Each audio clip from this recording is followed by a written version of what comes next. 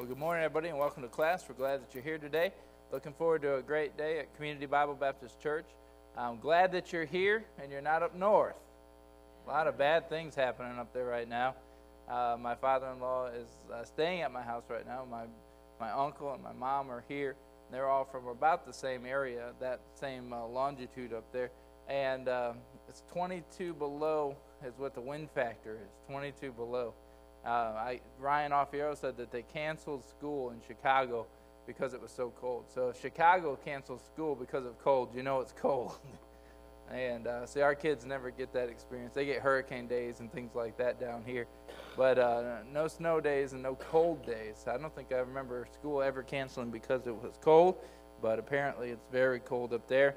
So if you think it's cold here, you've never been up north because up north it's very, very cold this morning. Well, we are glad that you're here. Today is a special day. We got our Vision Day, and uh, Pastor Stancil's back with us and going to be sharing some of his vision for 2015. Hard to believe we're already 11 days into 2015, and January is already ticking away. Time doesn't slow down. It doesn't wait for us. It just keeps going. And uh, looking forward to our study. morning. But uh, let's go ahead and take a few moments, and we'll get our offering taken care of by our two Steves uh, Steve Hawthorne and the other Steve. Last week I really couldn't remember his name for some reason. It just left my mind, but Steve Waterman, thank you guys for your service. Everything that comes in the offering goes toward the building fund, and uh, the painting will begin this week. Get things touched up and looking better. Thank you for your faithfulness there. Going to take time for some prayer requests, praises, or if there's something you'd like to share this morning. Um, I give you a prayer request right away. Uh, Bo and Kay uh, Bedgood, their daughter, I'd ask that you pray for her. Her name is Terry, and uh, she's got congestive heart failure and uh, young, but uh, needs the Lord. So I'd ask that you pray for her this morning specifically. Just keep her on your heart and mind. Her name is Terry. I'm not sure on her last name, but it's uh, Bo and Kay's daughter. Anybody else this morning? A prayer request? Something that's on your heart? Brother Paul, way in the back.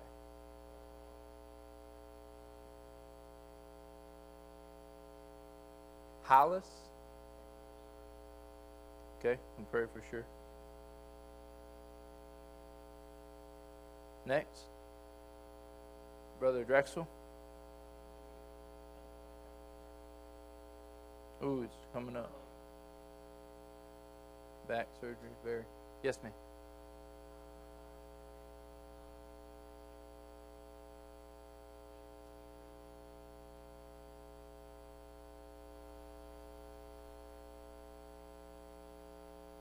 For sure.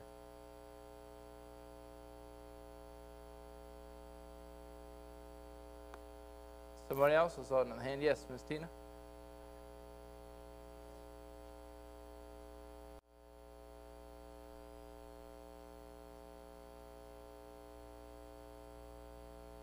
Brianna.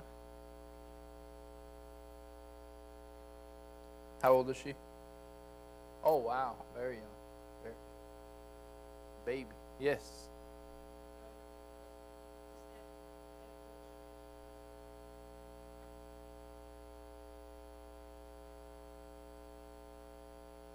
Anyone else? Saw some more hands. Yes, Miss Granger.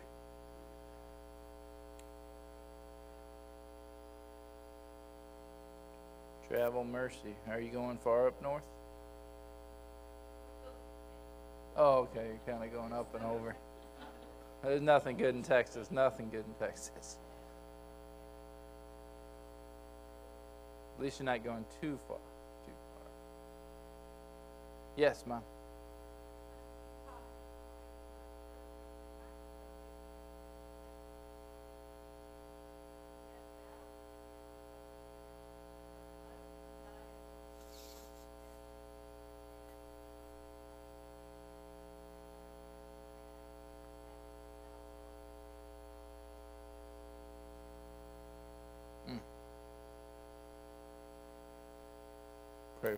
Regetta.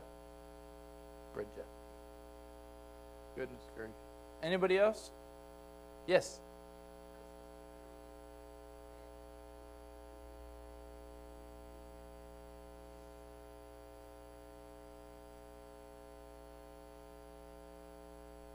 Okay, we'll pray for sure.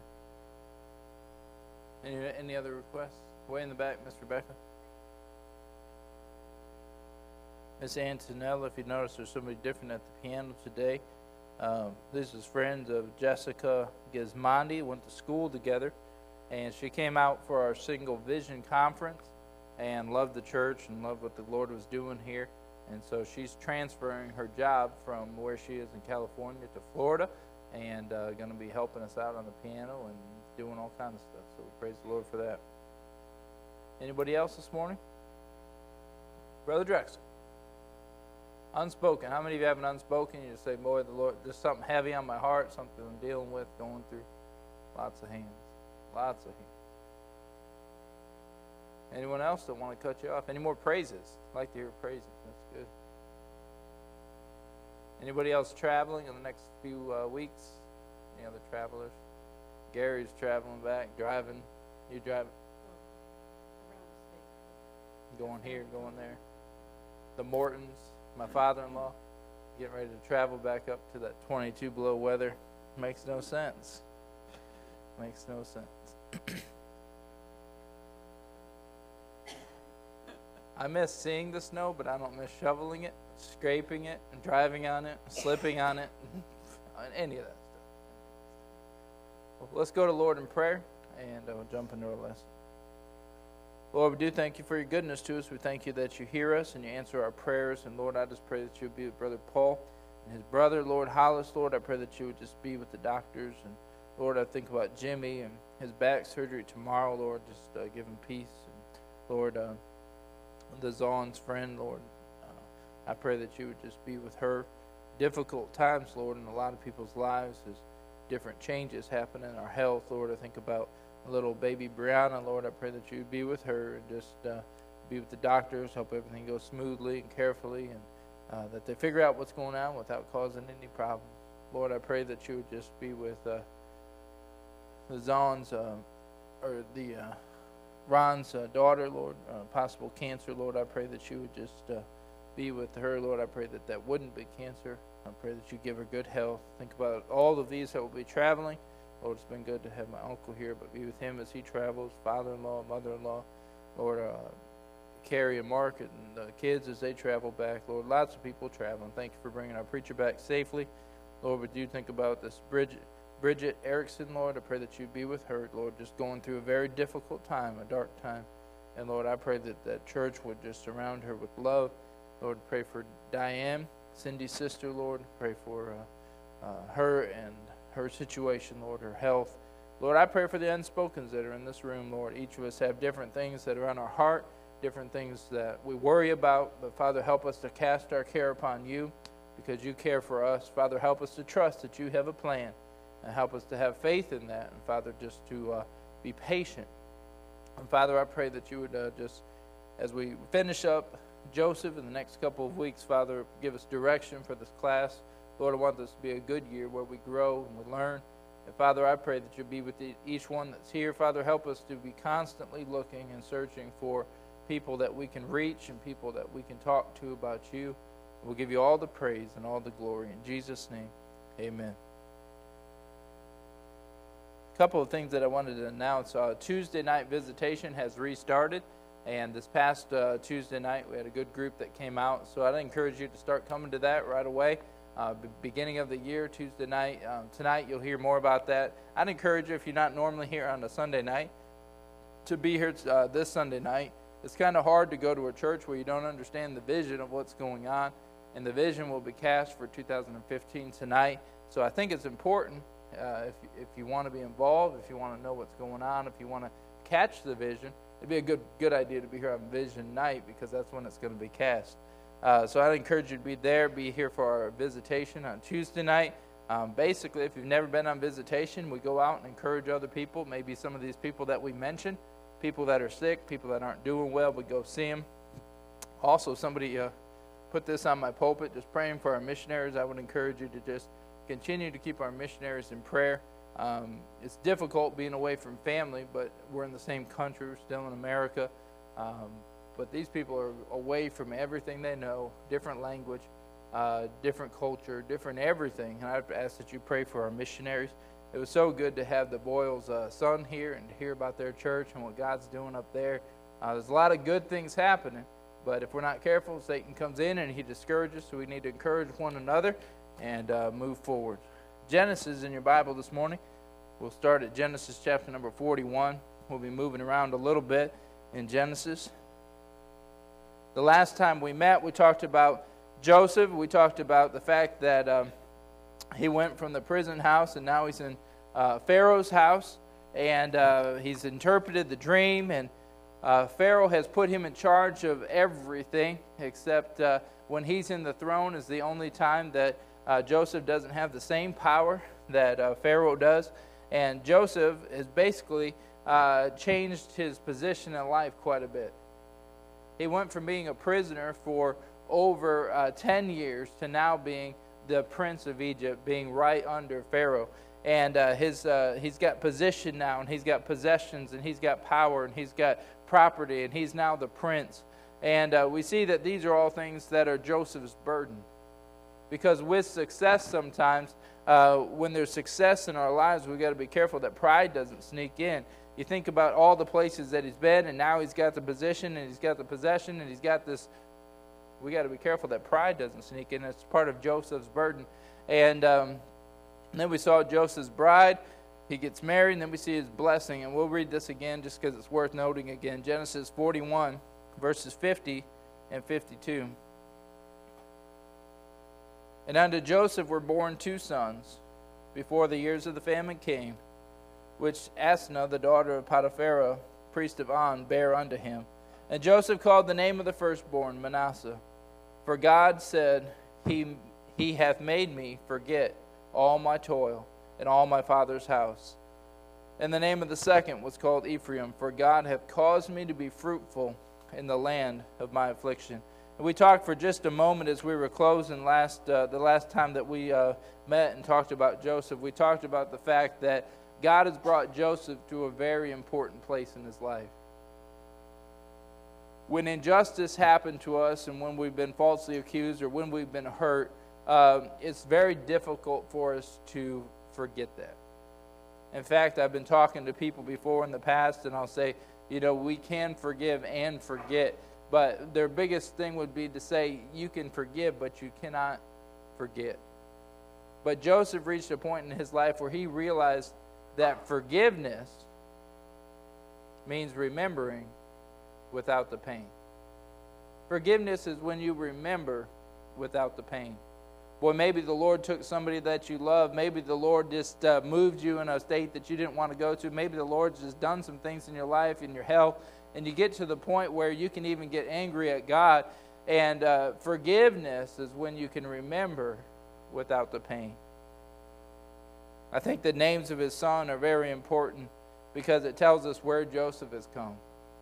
Joseph has not only just, uh, he's grown so much culturally because this is a whole new culture, this is a whole new atmosphere, this is away from his family, away from everything that he knows, but he's grown very much spiritually. He names the second son, and the name of his second son means God has caused me to be fruitful in the land of my affliction. Over and over as you read the story of Joseph, this wasn't easy for Joseph. This was very difficult for Joseph. He had the same feelings. He is the same human that you and I are. And to be ripped away from family and to have, have your own brothers sell you and to be sold as a slave twice now and then, and then to be falsely accused and said that you were immoral when you're trying to be as moral as you possibly can. All of this stuff has happened to him. It's a very difficult thing. But God has caused me to be fruitful in the land of my affliction. I don't know what you're going through today. I don't know what difficulty you're going through, but you can be fruitful in your trouble. You can be fruitful in your affliction. You can be fruitful in your trial if you'll just continue to do what you know that you're supposed to do. He has his sons, and now the famine has come, and they begin to gather wheat, they begin to gather grain, they begin to gather corn, and they gather so much that they do not know how to number it. They lose count of how much they have. And in Genesis chapter number 41, we'll begin reading In Genesis chapter number 41, we're going to read a couple of verses that I think will be a help to you. Let's actually start in Genesis 42. We'll read verses 1 through 10.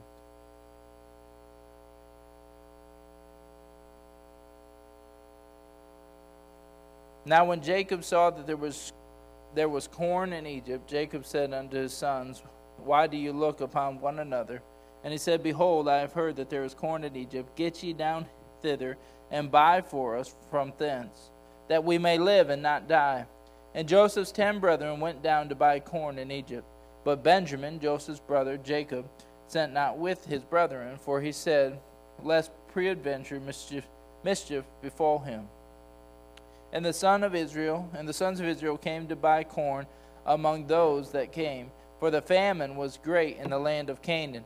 And Joseph was governor over the land, and he it was that sold to all the people of the land. And Joseph's brethren came and bowed themselves down before him with their faces to the earth. And Joseph saw his brethren, and he knew them, but he made himself strange unto them, and he spake roughly unto them. And he said unto them, Whence come ye? And they said, From the land of Canaan to buy food. And Joseph knew his brethren, but they knew him not. And Joseph remembered the dreams which he dreamed of them. And he said unto them, Ye are spies, to see the nakedness of the land ye are come. And they said unto him, Nay, my lord, but to buy food are thy servants come. We are all we are all one man's son. We are true men. Thy servants are no spies we see everything come full circle here. And Uh, I think that Joseph is reminded of some things here as he, he gets up each and every day, and the famine is bad in the land now, and everybody's to the point where they're out of food, and they're all coming to Egypt to get their food. And Joseph's job, literally, every day, he gets up and he meets with people from all over the country that are coming who are literally starving and he meets with people and he finds out who they are and he finds out where they're coming from and, he, and he's able to sell them corn because of all of the corn that's in the land. And he gets up each and every day and that's all he does. How many people do i see today? Well today you have 150 people that have traveled from all over the countries who are coming to egypt for food. And all he did each and every day the bible is very clear about it he talked to them and sold them food well, he wakes up one day and has no idea that on that 150 people that he's got to meet with, there's going to be one group that's very familiar to him. And he gets up and he continues to do what he knows he's supposed to do. And he, he comes out, and the next group is brought before him, and there's 10 of them. And I don't know if you've ever seen somebody, maybe there's somebody that you've seen that you haven't seen in about 10 or 13 years, and you see him, you still recognize them. Man, they look a little bit different. They may look a little older. They may look a little thinner. They may look a little fatter, wiser, whatever. He knew exactly who they were.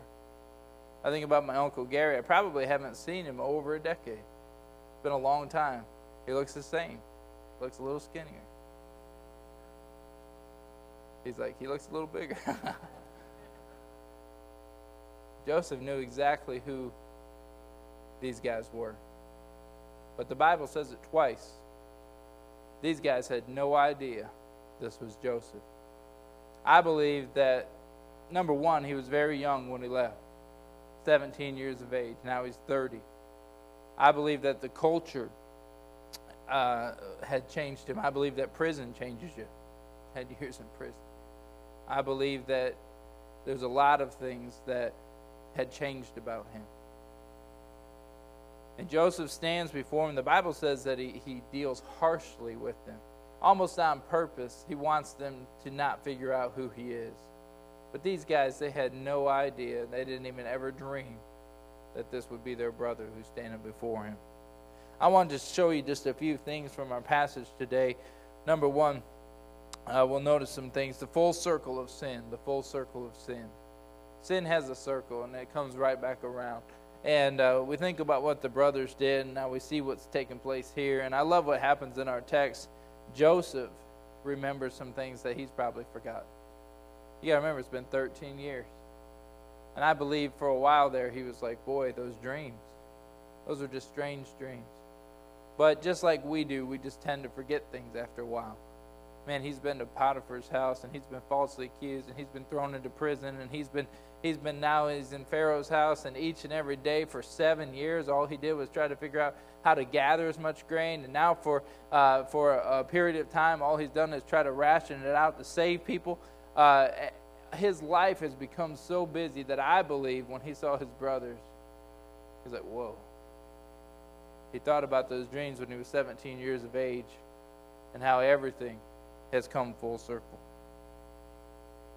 There are 13 recorded famines in the Bible, and God was about to use the resources to bring a spiritual feast in Egypt. In Egypt, the Nile had failed. Egypt had failed for seven years. All of Egypt rejoiced that the Nile had been full. You think about the seven years of plenty.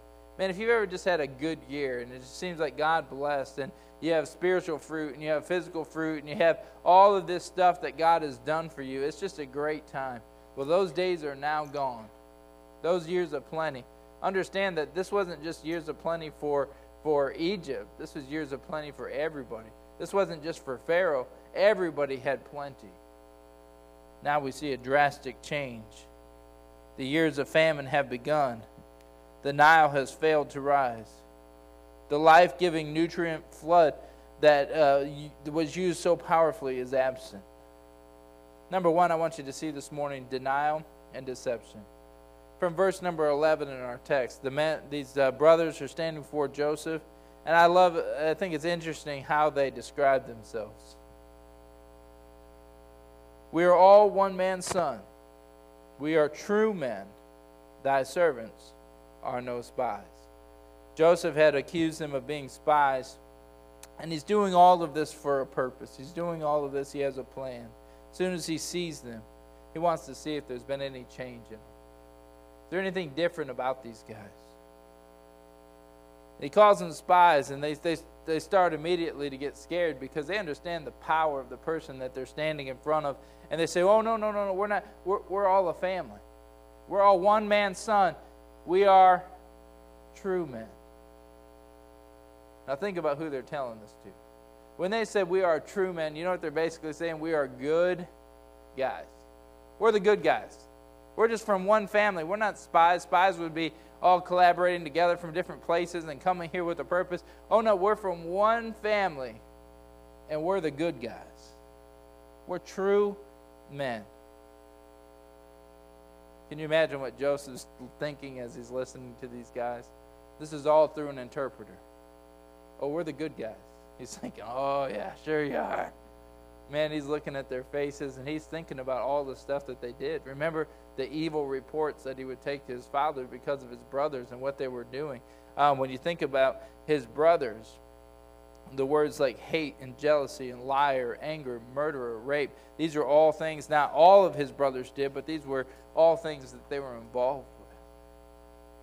We're the good guys. We only speak truth. Think about what that says. We are true men. Joseph's probably imagining the lies that they told their father about his disappearance and how they made a pact to conceal the fact that they sold their own brother into slavery. You know, if we're not careful, we start to look at our lives and we think that we're the good guys. We think that we're, the, we're, we're okay. Joseph's brothers needed an opportunity to face themselves for who they really were. So Joseph presses them a little bit more. And uh, he continues to, uh, to ask them about themselves. If we're not careful, we get to the point where we say, I'm doing really good. Spiritually, I'm where I'm supposed to be. I'm doing everything that I know how. The Bible says this in Proverbs chapter number 20 and verse 6 Most men will proclaim everyone his own goodness, but a faithful man who can find?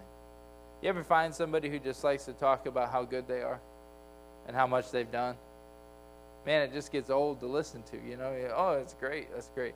We need to remember who we really are. We need to make sure that we're not painting an inaccurate picture. We need to keep keep a real look at who we are. We're a sinner who's unworthy, who's lost until he found us, desperate and bound for hell until he found us, mercifully saved from my sins because he found us, ambassador for Jesus Christ. That's who we are. We got to make sure that we get to the point where we're not like Joseph's brothers, where we feel like we're better than other people, or we feel like we're the good guys. We need to remember who we are. Romans chapter number 12 and verse 3 says this For I say, through the grace given unto me, to every man that is among you, not to think of himself more highly than he ought to think, but to think soberly, according as God has dealt to every man the measure of faith.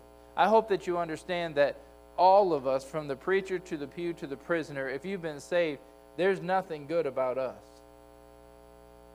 It's the one who saved us, it's the one who gives us that grace and that mercy. Grace and mercy is getting things that we do not deserve. All of us deserve one thing, and that's to spend eternity in hell. If it wasn't for Jesus and His mercy and His grace, that's what we deserve. I think it's interesting, that his brothers said, we are true men. We're the good guys. They had no idea who they were talking to. They were talking to the guy that knew them better than anybody else. And can I tell you this that when we come to church on a weekly basis and we put on our suit and we grab our Bible, that we're coming and we're worshiping the one who knows us better than anyone else? We need to remember who we are. We see the denial and deception. But secondly, we see remembering and remorse. Joseph's brothers have been trying to successfully deny their past. But Joseph begins to stir their remembrance once more. Look at Genesis 42, verse number 13. And they said, Thy servants are twelve brethren, the sons of one man in the land of Canaan. And behold, the youngest is this day with our father and one is not. One is not. The Bible talks about Enoch and says that he was not.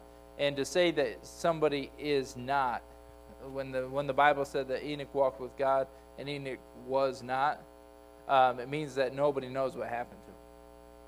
And so what their brothers are saying right here is they're saying that Benjamin is with dad and one we're not sure what happened to. Right there, they just said we're true men.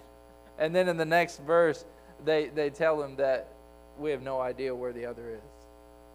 He's standing in front of them. They do not name him further, they do not acknowledge him. In fact, they would prefer not to think of him, yet they know they were forced to remember him.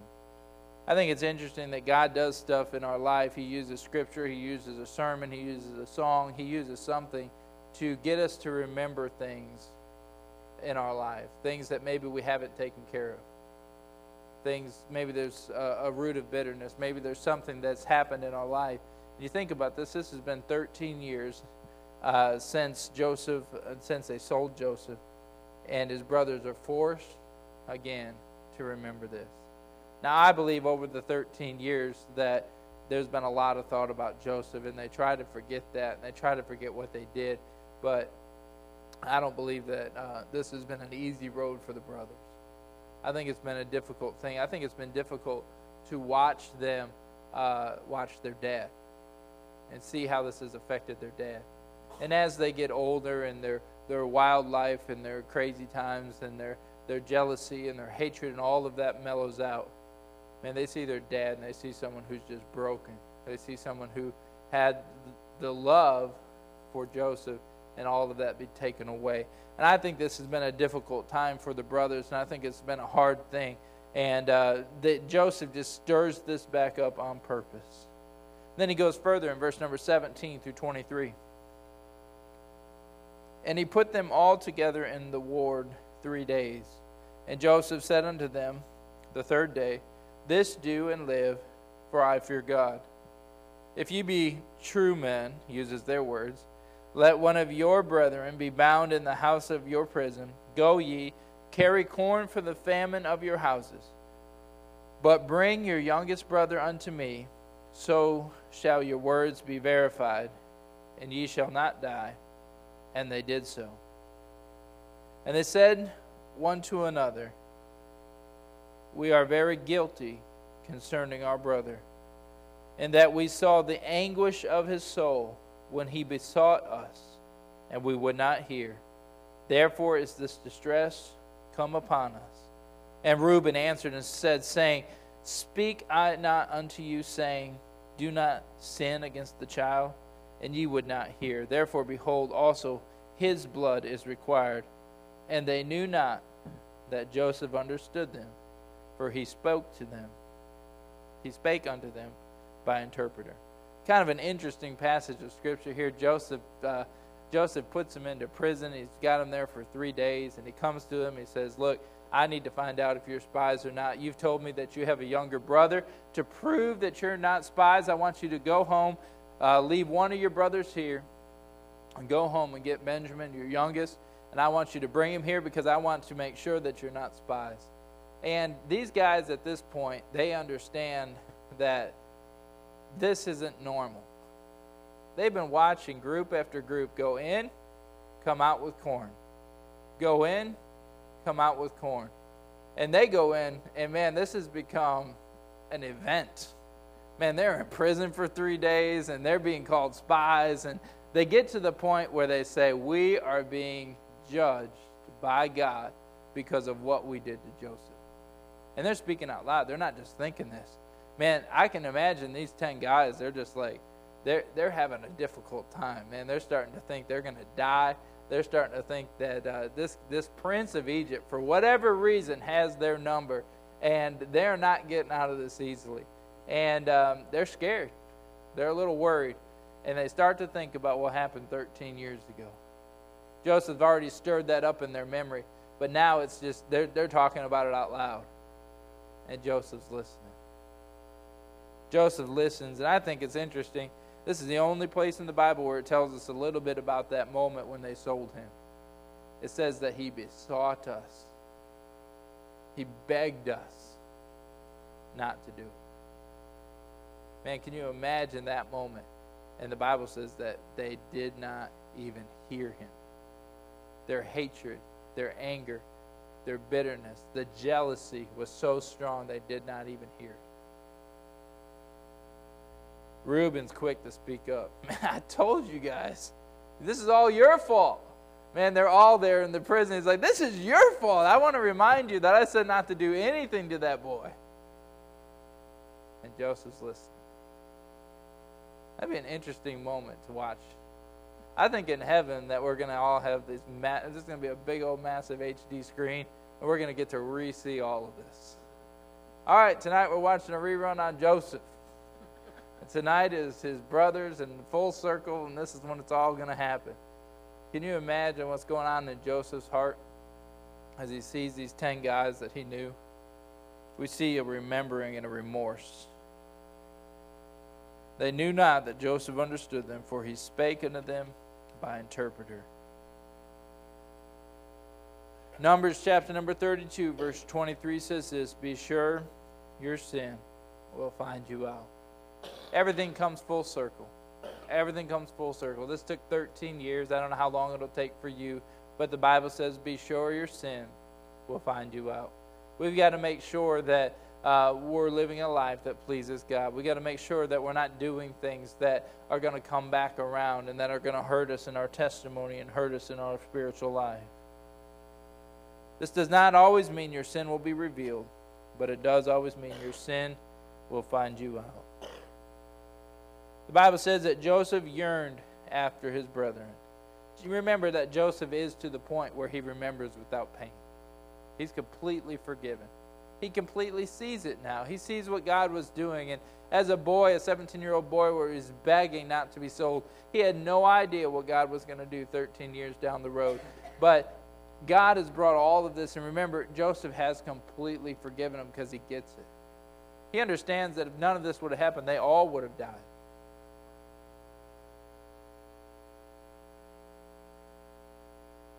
The brothers talk about it and they decide Joseph keeps Simeon in prison.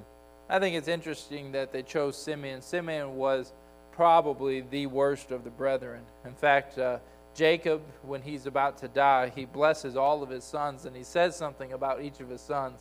And the only thing that he says about Simeon was he was an instrument of cruelty. A good guy. He was one of the good guys. An instrument of cruelty. Simeon stays behind and he's in prison. Verses number 42 20 or chapter 42 26 through 28 we see a little bit more of what happens next.